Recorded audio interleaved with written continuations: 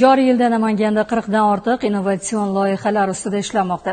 Hozirda startap tijoratlashtirish loyihalaridan tashqari 2 milliard 700 million so'mlik 10 ta innovatsion loyiha ayni bu boradagi izlanishlar samarasini ko'rsatdi. Mavzuni muxbirimiz Chustman misolda davom ettiradi. Yana bir innovatsion loyihalardan biri zotdor quyonlarni innovatsion texnologiyalar asosida hududiy iqlim sharoitlariga genetik moslashtirish va aholining kam ta'minlangan qatlamida xonadonbay usulida ko'paytirish, uning zamonaviy seleksiyasini yaratish bo'ldi. Bu borada Ibrakrol mas'uliyati cheklangan jamiyati loyiha tashabbuskori hisoblanadi.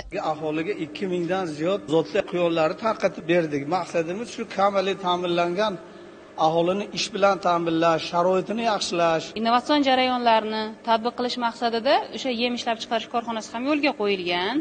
Quyonchilik ozuqa bazasini mustahkamlash bo'yicha.